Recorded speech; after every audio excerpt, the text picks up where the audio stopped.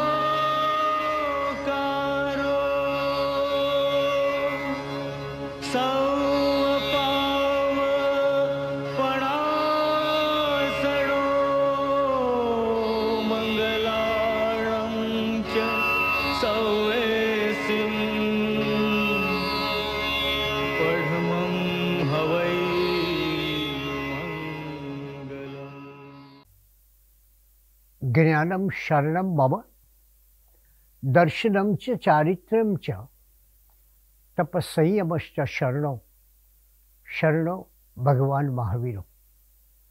ऐसे तीर्थंकर परमात्मा भगवान महावीर के संदेशवाहक के रूप में सदैव अपना परिचय देने वाले पूज्य गुरुदेव श्री चित्रभानु जी की एक जन्म शती के इस मंगल अवसर पर भगवान महावीर के इस वैश्विक दूत को वंदन करके मैं अपनी बात का प्रारंभ कर रहा हूँ।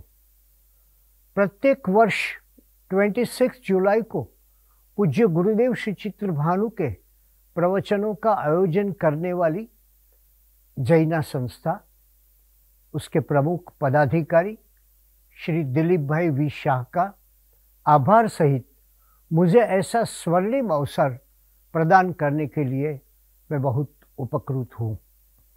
प्रत्येक धर्म के पास एक आकाश होता है और एक सूर्य होता है।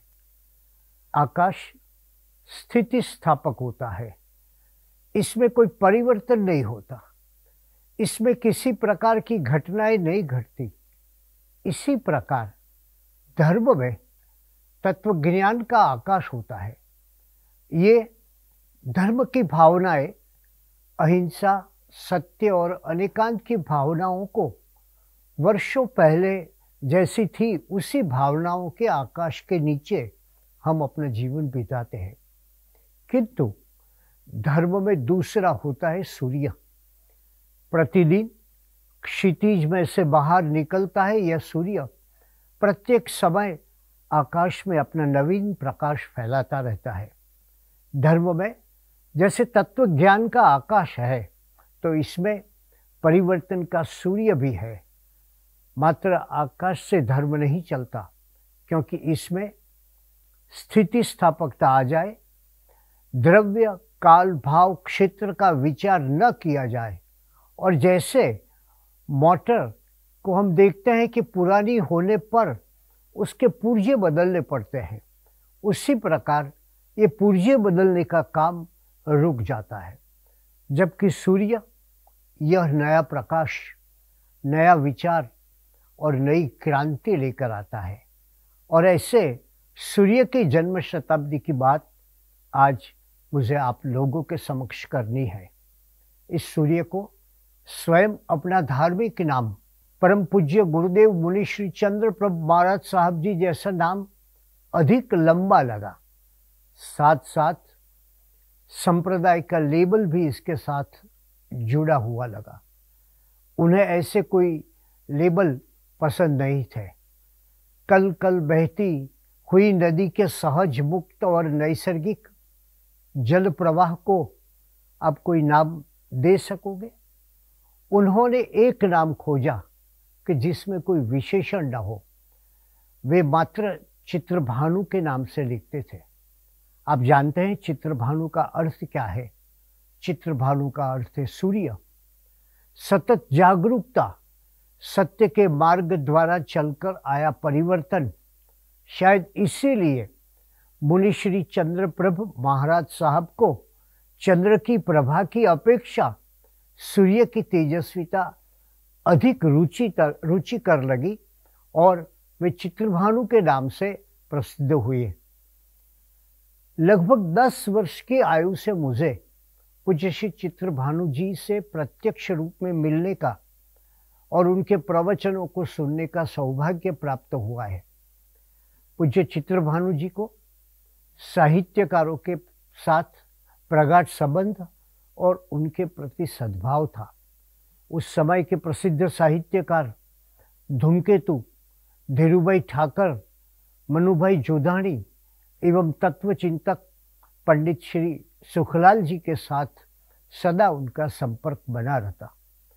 मेरे पिता श्री जय भिक्खू के साथ भी गाढ़ संबंध था और उसके कारण और विशेष तो गुरुदेव श्री चित्र भानु जी की सौरभ और मोती की खेती जैसी अनेक पुस्तकें जय भिक्खू द्वारा प्रकाशित की गई और इसीलिए जय भिक्खू की साठ वर्ष की आयु में आयोजित षष्ठी पूर्ति समारोह के शुभ अवसर पर उन्नीस सौ अड़सठ में 1968 में रॉक्सी थिएटर में पूज्य चित्र भानु जी ने विशाल सभा को संबोधित किया था। उनकी और एक किताब, धर्मरत्ना अजवाड़ा, उसको संपादित करने का मुझे भी सौभाग्य मिला है। आपको ताजमहल के सौंदर्य को देखना हो तो पास से देखोगे तो उनका सौंदर्य दिखाई नहीं देगा। पर किंतु दूर से प्राकृतिक परिवेश के बीच में आप ताजमहल को देखेंगे तो आपको ये, उसका सौंदर्य का पता चलेगा और कैसा अनिवार्य अनिवार्य सौंदर्य है उसका अनुभव होगा। आज इतने वर्षों के पश्चात जिनका मात्र दस वर्ष की आयु में प्रथम परिचय और प्रत्यक्ष मिलन हुआ, और वह उनके जीवन के अंतिम समय तक रहा। उस समय उनके विशाल व्यक्तित्व को देखकर मुझे मेघधनुष, रेनबो के सात रंगों के सौंदर्य का अनुभव आज भी होता है। उनके जीवन का प्रथम रंग था मातृभक्ति। उनका मूल नाम था रूप राजेंद्र और रूप राजेंद्र मात्र चार वर्ष का था, तब माता का स्वर्गवास हुआ। उसे रोज रात को माता की गोद में छुपकर सोने की आदत थी। और इसी कारण वो अपने घर के कोने कोने में अपनी माता को ढूंढता था और माता नज़र नहीं आती थी। अब वह अपनी माँ को पुनः नहीं देख सकेगा। ऐसा उसके काका ने कहा, तब वह बिलख बिलख कर रोने लगा। उसके काका ने कहा कि तेरी माता तो आकाश का तारा बन गई है। बालक रूप, कितने ही दिनों तक आकाश में रहती माता को खोजने का प्रयत्न करता रहा मन में प्रश्न उठता था। उनके मन में यह प्रश्न उठता था कि, माँ, तू अकेली क्यों चली गई? मुझे साथ में क्यों न ले गई? और फिर मन में माता की छवि बनाकर रोज उसके साथ बातें किया करते थे। माता का ये रूप यहीं से और माता की विदाई से उनके जीवन में आध्यात्मिकता का प्रारंभ हुआ। पूज्य गुरुदेव श्री चित्रभानु जी के जीवन का दूसरा रंग है। महात्मा गांधी जी के विचारों का प्रभाव। महात्मा गांधी जी सदा सत्य के मार्ग पर अक्सर रहे और उसी के कारण उन्होंने जो सत्य लगा उसी की ही जीवन भर उपासना की। एक युवक के रूप में रमन महर्षि, योगी अरविंद जैसी विभूतियों से चित्रभानु जी का संपर्क हुआ था। 19 वर्ष की आयु में सुभाष चंद्र बोस के साथ फॉरवर्ड ब्लॉक के युवा सदस्य के रूप में उन्होंने कार्य किया। वे उनके साथ 21 दिन तक साथ रहे थे और विशेष रूप से पूज्य गुरुदेव चित्र भानु जी को कन्नड़ भाषा का भी ज्ञान था। इसी के कारण सुभाष चंद्र बोस के लेखों का अनुवाद का उन्हें अवसर मिला। युवान, चित्रभानु पर सबसे विशेष प्रभाव महात्मा गांधी जी को मिला। गांधी जी की अहिंसा, सादगी और सत्य ने उनके जीवन को संवारने में बहुत बड़ा योगदान दिया है। उन्होंने गांधी को अपने हाथ से टॉयलेट साफ़ करते हुए देखा था और हरिजन भाइयों को बड़े स्नेह से अपने साथ रखते हुए देखा था। गांधी की तीन बातों का उनके जीवन को देखें तो आपको पता चलेगा, गांधी की तीन बातों का उनके जीवन पर बहुत गहरा प्रभाव पड़ा। एक तो कितनी ही बड़ी मुश्किलें क्यों ना आए, कभी सत्य का आग्रह छोड़ना नहीं दूसरी बात कि अहिंसा का अपने जीवन में पूर्ण रूप से पालन करना। और तीसरी बात, जीवन में सदा सादगी से रहना। मुझे एक प्रसंग का स्मरण होता है। एक बार सिंगापुर में उनके संघ के अग्रगण्य श्री नगीन भाई दोषी के घर मेरा चित्रभानु जी और प्रमुदा बहन का ठहरने का प्रबंध था। प्रातः साढ़े चार बजे मुझे स्नान गृह से आवाज़ आती सुनाई दी। पता लगा कि पूज्य श्री चित्र भानु जी इतने साढ़े चार बजे उठकर अपने कपड़े धो रहे। गांधी जी भी अपने वस्त्र स्वयं धोते थे। और कई वर्षों तक, लगभग अंतिम काल तक चित्रभानु जी अपने कपड़े स्वयं धोते रहे थे। गांधी जी की धर्म भावना का प्रतिबिंब भी उनमें देखने को मिलता है, जिसमें जाति पाति, संप्रदाय का या वर्ण का कोई भेदभाव नहीं था। इसीलिए पूज्य गुरुदेव श्री चित्रभानु के प्रवचनों में आपको एक व्यापकता देखने को मिलती है। गांधी जी की तरह वे भी अपने छात्रों को स्वयं पत्र लिखते थे और इस दृष्टि से विचार करें तो अहिंसा पालन का विचार उन्होंने अपने जीवन में, अपने व्यवहार में पूर्ण रूप से रखने का प्रयत्न किया। मातृ प्रेम और महात्मा गांधी की भावना आत्मसात करने के पश्चात ममता की और प्राणियों के प्रति जीव दया की अलख जगाई। वे गुजरात से मुंबई विहार करने के लिए जा रहे थे, तब उस समय मुंबई में, बांद्रा में अनेक कत्ल खाने देखकर उनका हृदय द्रवित हो उठा और देखा कि एक निर्दोष, निरीह प्राणियों के साथ कैसी क्रूरता अपने पिताजी के जीवन में उन्होंने प्रत्यक्ष देखा था कि उन्हें किसी बीमार या दुखी गधे को देखकर भी अपार दुख होता था और उसे बचाने के लिए अपना भोजन भी दे देते थे। मुंबई आगमन पर चित्रभानु के प्रवचनों से श्रोताओं पर गहरा प्रभाव पड़ा। उनका अपनी मातृभाषा मारवाड़ी के उपरांत कन्नड़, तेलुगु, गुजराती, हिंदी, मराठी, पंजाबी, संस्कृत, प्राकृत तथा अंग्रेज़ी सभी भाषाओं पर प्रभुत्व था। इसी कारण वे जनसमूह के साथ सरलता से एकात्मता साधने में समर्थ थे। सीधे हृदय को स्पर्श कर, आत्मा को लक्ष्य करते तथा मानव मूल्यों के प्रेरक उनके प्रवचनों ने उस समय उद्योगपतियों, व्यापारियों, युवकों, राजनयिकों जैसे भिन्न भिन्न धर्म के तमाम लोगों में आकर्षण जगाया। उन्होंने प्राणियों की चीख सुनी थी। और वो चीखें सुनी होने के कारण ही उनके हृदय में हमेशा प्राणियों की सुरक्षा का भाव मुख्य रहता था।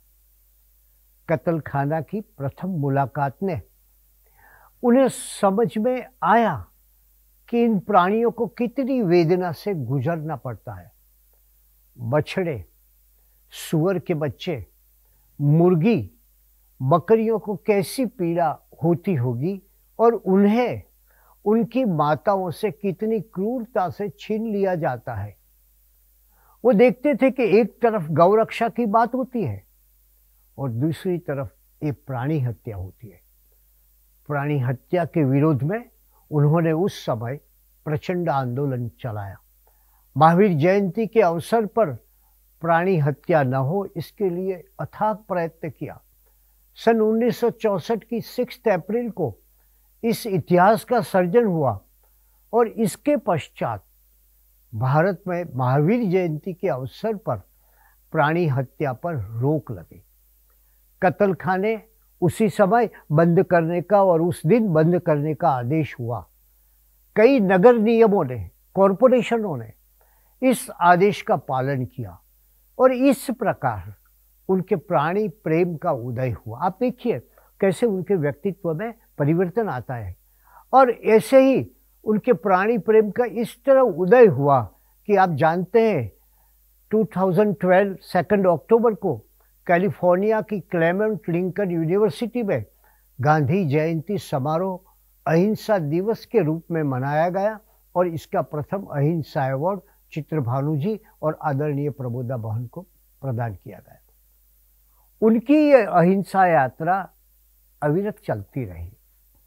अहिंसा, शाकाहार, विचारों की सापेक्षता और जीवन के प्रति आदर की भावना का प्रचार करते हुए उन्होंने 99 के दशक में लास वेगास में एक कार्यक्रम में उपस्थित थे और वहीं से विगनिज्म का प्रारंभ हुआ। इस विगनिज्म में उन्होंने जीवन जीने की कला देखी।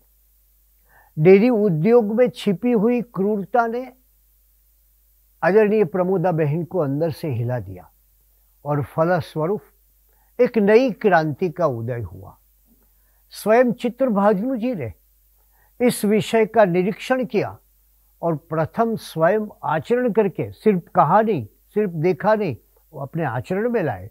आचरण करके अपनी जीवन शैली में परिवर्तन किया और बाद में विगनिज्म उनके आध्यात्मिक जीवन और सांसारिक जीवन की यात्रा का सदैव के लिए मुख्य सिद्धांत बन गया। उन्होंने अपने प्रवचनों, पुस्तकों और लोगों से प्रत्यक्ष मिलकर इसका प्रचार किया। उनके जीवन के अंतिम समय में तो कभी ऐसा अवसर आता कि वे अपने प्रवचन का लगभग आधा घंटा विगनिज्म की बात करते। मिल्क शब्द, वो कहते थे mothers, infinite love and kindness, अर्थात दूध वह मनुष्य और प्राणियों में माता में उत्पन्न होता है। दूध मात्र नवजात शिशुओं के लिए होता है। दूध प्रकृति द्वारा कोमल शिशु को प्रदान की गई भेंट है। लाल रक्त सफ़ेद दूध में एक बालक के लिए परिवर्तित होता है और यही प्रकृति का बड़ा चमत्कार है। डेयरी उत्पादनों का उपयोग प्राणियों पर की गई हिंसा को प्रोत्साहित करता है। एक अर्थ में कहे तो पूज्य गुरुदेव चित्रभानु जी की अहिंसा यात्रा का प्रारंभ प्राणी हत्या की अपेक्षा कत्ल खानों के विरोध में हुआ था और इनकी पराकाष्ठा विगनिज्म में आई। इसमें उन्हें आदरणीय प्रमोदा बहन का उत्तम साथ मिला और विगनिज्म के साथ उन्होंने आध्यात्मिका आध्यात्मिकता का भी सम्मिश्रण किया। उनके जीवन के रेनबो का मेघ धनुष का चौथा रंग है मुक्त जीवन। उनके समग्र जीवन के आप अवलोकन करेंगे तो आपको पता चलेगा कि उन्होंने जीवन में सदैव धर्म की खोज और मुक्ति का मर्म प्राप्त करने का पुरुषार्थ किया है। स्वतंत्र विचारधारा के कारण बीसवें वर्ष में साधुता का वर्ण किया, किंतु जिन आचारों के साथ उनके स्पष्ट और निर्भीक विचार मेल नहीं खाते थे, उन आचारों का उन्होंने कभी परंपरा के नाम पर स्वीकार नहीं किया। वे बौद्धिकता और विचारशीलता को साथ रखकर परंपरा के कदमों पर चलने में मानते थे और इसीलिए बीसवें वर्ष में दीक्षा ग्रहण करने के बाद उन्होंने स्नान करने के बजाय स्पंज करने का तरीका ठीक नहीं लगा और उन्होंने उसका विरोध भी किया। स्त्री का स्पर्श वर्जित माना जाता है। फिर भी उन्होंने एक बार कई स्त्रियों को आग में बचाने के लिए उनका स्पर्श किया था। उन्होंने वेश्या स्त्रियों के साथ उनके जीवन को उन्नत बना के, बनाने के लिए विचार विमर्श भी किया था। उन्होंने एक नई बात बताई, वो सायंकाल का प्रवचन। और इसके कारण उन्होंने अपना उपाश्रय छोड़ने का भी निर्णय किया। इस प्रकार वे मुक्त और खुले हुए मिजाज के साधु के रूप में अपने समय में प्रसिद्ध हुए। और इसी के कारण इनका सबसे बड़ा लाभ, सबसे अधिक लाभ समाज को यह मिला कि वे विदेशों में जहाँ जहाँ गए। वह न उन्होंने किसी गच्छ की बात की। वह न उन्होंने किसी संप्रदाय का समर्थन किया। धर्म की रूढ़ विचारों का आग्रह नहीं रखा, परंतु जैन समाज के हर किसी के हृदय को स्पर्श कर सके। ऐसे व्यापक विचार जीवन लक्ष्य प्रवचन और उदात्त भावना युक्त प्रवचन और पुस्तकें प्रदान की। अमेरिका और अन्य देशों में बसे हुए जन समुदाय के लिए चित्रभानु जी जैन धर्म के आलोक की प्रभावशाली किरण बन गए।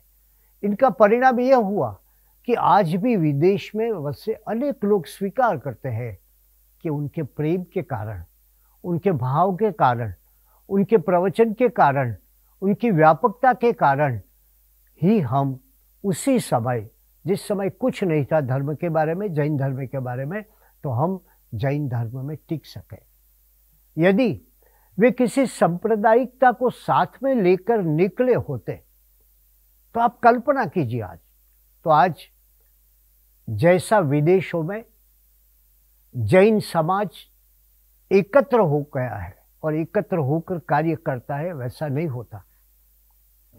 आज हम देखते हैं कि इस प्रकार एकत्र हुआ और इसके कार्य के कलश के रूप में हम अमेरिका की जैना संस्था देख सकते हैं कि जो संगठन कोई सांप्रदायिकता या विग्रह में कुंठित होने की बजाय भारत और कनाडा के तमाम जैनों का सक्रिय संगठन बन सका।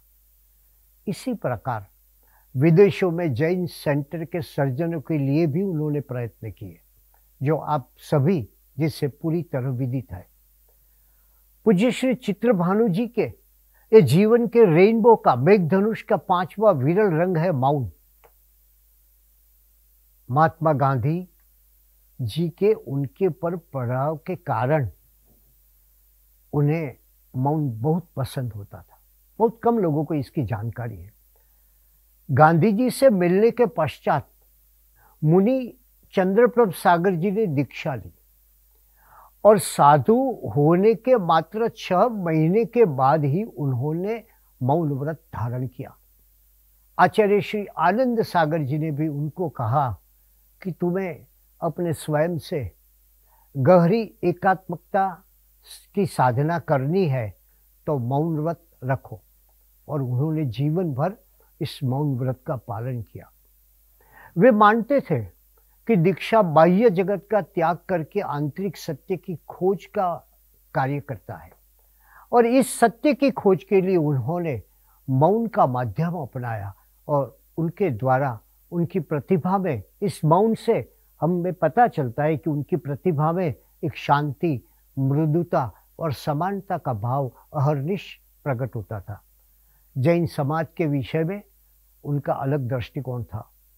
वे मानते थे कि व्यक्ति अपना धर्म छोड़े बिना भी जैन हो सकता है।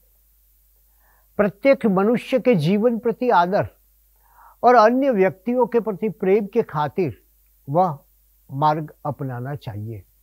यदि हम स्वयं को पहचानने लगे तो इस अमूल्य जीवन का हम कभी दुरुपयोग नहीं करेंगे। इस जैनत्व के प्रति उनके भाव के कारण ही उन्होंने जैन समाज को वीरचंद राघव जी गांधी के कार्य की तरफ़ सर्वप्रथम अभिमुख किया। बम्बई में 1964 25 अगस्त के दिन वीरचंद राघव जी गांधी की जन्म शताब्दी का समारोह का आयोजन हुआ था। वीरचंद राघव जी गांधी विदेश जाकर शिकागो शिकागो की धर्म परिषद में बहुत प्रभावशाली प्रवचन दिया था।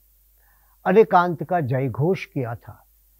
इसके पश्चात अमेरिका और ब्रिटेन में अनेक प्रवचन दिए और उनकी व्यापक दृष्टि से जैन धर्म के जटिल सिद्धांतों को सरलता से समझाया। विशेष रूप से भारतीय गौरव की उन्होंने स्थापना की। भारतीय प्रजा की रहन सहन, उनकी भोजन पद्धति, उनकी योग दृष्टि आदि का विस्तार से सबको परिचय दिया। परदेश गमन के लिए वीरचंद राघव जी गांधी भारत से विदा हो रहे थे तब उनकी सभा में कुर्सियाँ उछाली गई थी। और जब वे वापस आए, तब उन्हें अपनी ज्ञाति से बाहर निकाला गया था। उस समय ज्ञाति जाति से बाहर करना अर्थात सभी लोगों के साथ अपना सामाजिक, आर्थिक सभी संबंधों पर विराम लग जाना। उन्होंने वीरचंद गांधी ने पाली तना पर जाने वाले यात्रियों के लिए कर माफ़ करवाया था। बिहार में होने वाले कत्ल खाने बंद कराए थे।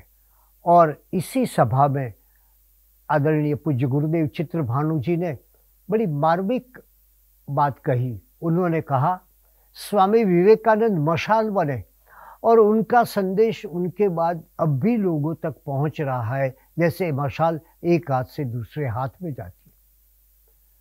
और हमारे जैन समाज में वीरचंद राघव जी गांधी सिर्फ़ धूप सरी, सिर्फ़ अगरबत्ती बनकर अपनी सुहास फैलाकर विदा हुए। इसी व्याख्यान में पूज्य श्री चित्रभानु जी ने कहा था कि आज हमें यह विचारना चाहिए कि उस समय वीरचंद राघव जी गांधी ने जो कार्य किया, वैसा कार्य इसके बाद क्यों कोई नहीं कर सका है? क्यों हम ऐसे विद्वान को भूल गए? क्यों हम जैन धर्म को विश्व धर्म न बना सके? इसका कारण वीरचंद गांधी जैसी बुद्धिमान व्यक्तियों की तरफ़ हमारी घोर उपेक्षा है। इस घटना के पश्चात एक बहुत माइलस्टोन है। वीरचंद राघव जी गांधी के जीवन के विषय में लोग विचारने को मजबूर हुए और आज हम देख सकते हैं कि जैन समाज में इनके विषय में काफ़ी जागृति आई है। अब मेघधनुष का अपने रेनबो का छठा रंग है मानवता। सभी जीव करु शासन रसी। इस भावना का उद्घोष उनके जीवन में देखने का मिलता है। उन्होंने एक समय प्रारंभ में साबरमती जेल में एक प्रवचन दिया था और उस प्रवचन का नाम था बंधन और मुक्ति। एक छोटी सी किताब भी बाद में उस समय निकली थी। एक जैन साधु जेलवासियों को समक्ष ये वक्तव्य दे रहा है, यह घटना उस समय विशेष रूप से लोगों में चर्चा का विषय बनी थी। उन्होंने कैदियों को बड़ी मार्मिक रीत से कहा था। वो मैंने भी सुना है, इसलिए मैं कह सकता हूँ कि हम सभी किसी न किसी प्रकार की कैदी है।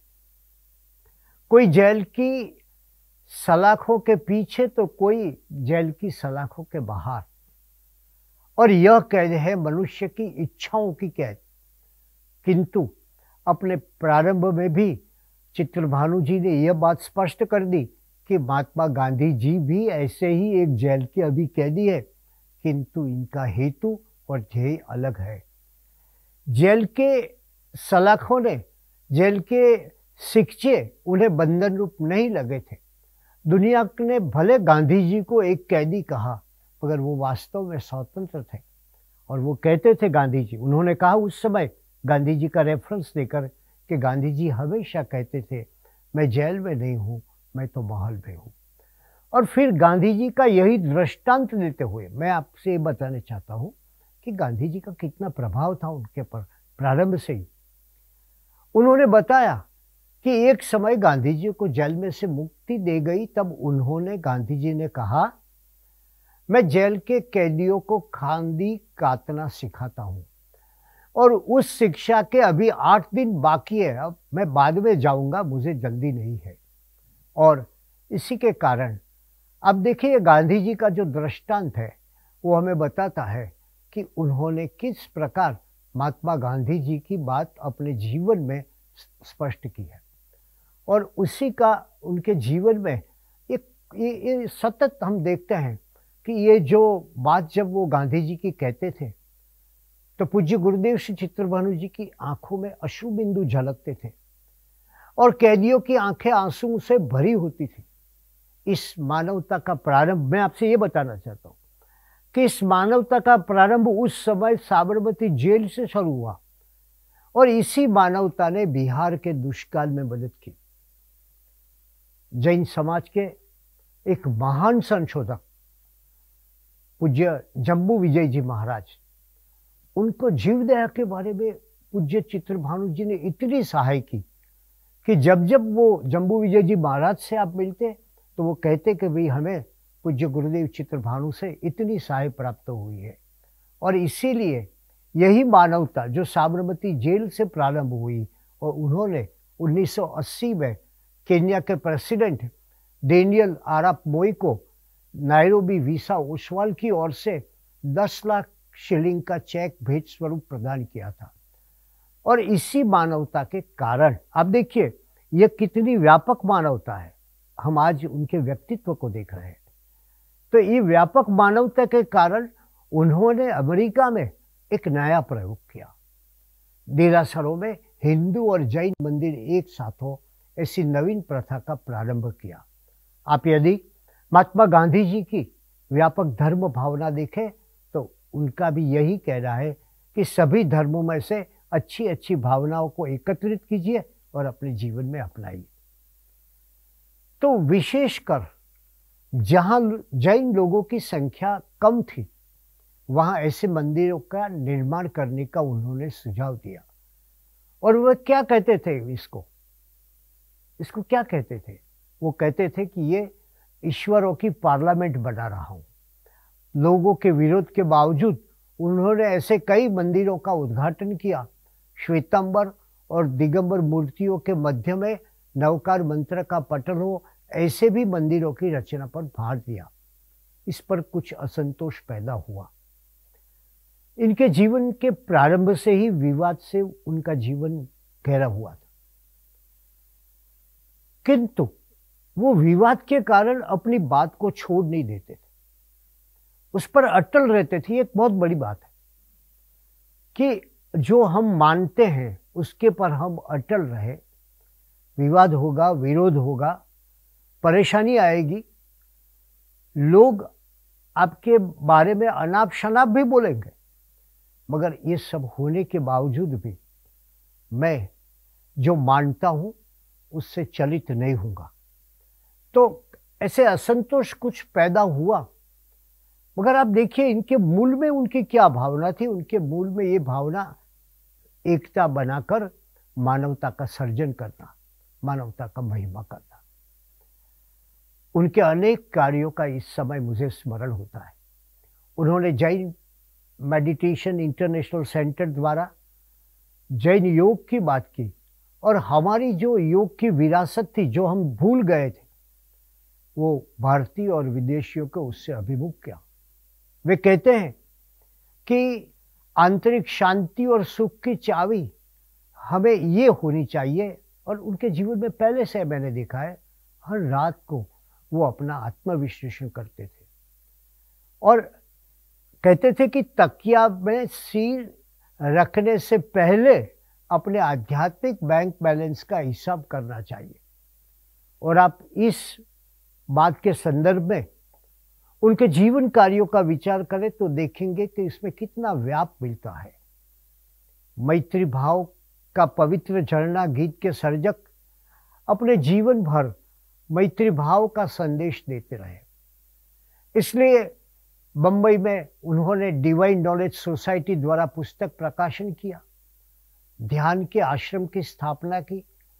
विदेशियों के साथ भारत की तीर्थ यात्रा की। इन सब स्थानों पर क्या प्रकट होता है? ये सब स्थानों पर उनका मैत्री भाव प्रकट होता है। और यह मैत्री कैसी मैत्री थी? आज आप याद कीजिए, उसका स्मरण कीजिए। यह मैत्री एक मुक्त मानव की मैत्री थी। इस मुक्ति के कारण ही उन्होंने कोई शिष्य नहीं बनाया वे कहते थे कि गुरु बनना या किसी भी गुरु की आत्मा पर बहुत बड़ा बोझ होता है। और बाद में गुरु शिष्य को ज्ञान प्रदान करने के बदले या ध्यान के नियम सिखाने के बदले उसे अपनी लोकप्रियता पर ध्यान रखने को कहते हैं। और थोड़े समय के पश्चात, वो कहते हैं, बड़ी बड़ी सुंदर बात कहते हैं, वह अपने गुरु को हाशिए पर रखकर, वो शिष्य गुरु को हाशिए पर रखकर अपनी यात्रा का प्रारंभ करता है और अपने शिष्यों की खोज करने में लग जाता है। फिर स्वयं को शिष्य से गुरु में परिवर्तित कर देता है। कलिकाल सर्वज्ञ हेमचंद्राचार्य महाराज के समय उनका अनुसरण करने वाले लाखों अनुयायी थे। फिर भी उन्होंने कोई नए पंथ की स्थापना नहीं की। इसी प्रकार पूज्य गुरुदेव चित्रभानु जी ने भी किसी पंथ या संस्था के साथ बंधकर रहने की अपेक्षा अपनी मुक्ति और वैश्विक विचारधारा से भगवान महावीर के मनुष्य को सच्चा मनुष्य का संदेश बनाने की जो बात की थी, उसका संदेश सर्वत्र फैलाया। अमेरिका में जैना संस्था और दूसरी अनेक संस्थाओं को उन्होंने प्रेरणा दी। मगर आप देखिए, उन्होंने कभी किस, किसी भी संस्था की स्थापना नहीं की, संचालन की बात तो दूर रही। वे कहते थे, एक दफे मैंने उनसे पूछा था तो वे कहते थे कि संस्थाओं के साथ जुड़े तो मुझे उनकी चिंता रहे जो मेरी मुक्ति में बंधन रूप हो सकती है। ठीक इसी प्रकार का उत्तर एक बार पूज्य विश्ववंदे संत मोरारी बापू ने कहा था मुझे। मैंने पूछा कि आपका कोई आश्रम क्यों नहीं है? उसी समय उन्होंने यही जवाब दिया था। मेघ धनुष के छह रंग हमने देखे, रेनबो के। मातृ प्रेम मुक्त जीवन, महात्मा गांधी का प्रभाव मौन की साधना, मूक प्राणी के प्रति अपार ममता और मानवता। परंतु इस सभी छह रंगों के ऊपर सबसे बड़ा रंग जो है, सातवां रंग, रेनबो का। इस मेघ धनुष का सातवां रंग है, वो है उनके हृदय में शीर्ष स्थान पर सबसे बड़ी, सबसे ऊँचे, सबसे महत्वपूर्ण वो बात थी, वो थी भगवान महावीर के प्रति अगाध और अनुपम श्रद्धा। वे जीवन भर स्वयं अपने को भगवान महावीर के संदेश वाहक के रूप में परिचय देते रहे। उनके प्रवचनों में सदैव और कोई बात नहीं, कोई संप्रदाय नहीं, कोई गच्छ नहीं। सदैव एक ही बात होती थी कि भगवान महावीर स्वामी के एक छत्र के नीचे हम सब रहे। आज हम सब जानते हैं कि हम भगवान महावीर के संतान हैं। तो ये बात उन्होंने अपने प्रवचनों से, अपने जीवन व्यवहार से, अपनी विचारधारा से प्रकट की। यानी कि उनकी उपासना भगवान महावीर की उपासना थी। सभी नदियाँ जैसे अंत में गंगा में मिलती है, उसी प्रकार उनके, उनका, उनके सभी विचार वो भगवान महावीर के उपदेश की शाश्वत गंगा में मिलते थे। इन महावीर के छत्र के नीचे। जगत को एक करने की उनकी भावना थी और महावीर के सिद्धांतों से जगत ऐक्य साधने का प्रबल आत्म पुरुषार्थ उन्होंने किया। वो मुनि हो, उपदेशक हो, गुरु हो तब, या कोई भी व्यवहार कार्य करते हो अथवा धर्म कार्य करते हो, हर जगह। ये इनकी बहुत बड़ी विशेषता थी। उनके व्यक्तित्व की पारदर्शकता देखने मिलती है। यह पारदर्शकता हमारा अपारदर्शक समाज कितना ग्रहण कर सका, यह एक प्रश्न है। और इस प्रश्न को हम सोचे तो हमें लगेगा कि कितना ग्रहण कर सका। किंतु यह पारदर्शकता, उनके जीवन की ये पारदर्शकता, उनके जीवन की ये मुक्ति, इनके जीवन के मेघ धनुष का ये सात रंग वो भविष्य के लिए पगदंडी हो सकती है। हम सभी इस मार्ग पर चलने का विचार करें। इसी में आज के दिन की, इसी में इनकी जन्म शताब्दी की सार्थकता है।